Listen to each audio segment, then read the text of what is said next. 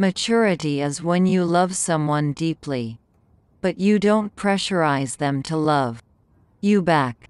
Men who beat their wives are not men. A man uses his strength to protect his family, not hurt them. The loudest guy in the room is the weakest guy in the room. Confidence is silent. Anger is an acid that can do more harm to the vessel in which it is stored than to anything on which it is poured. One thing I've learned in my life is that the grass is not always greener on the other side. Many people want to move away and start a new life in search of happiness. But if you leave with a broken heart or with a mind that is burdened you will be taking those problems with you to your new destination.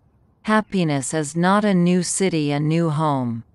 Or a new backyard with hopes of greener grass.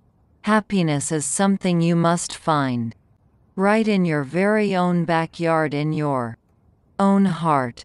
Do not think of yourself as the body but as the joyous consciousness and immortal life behind it.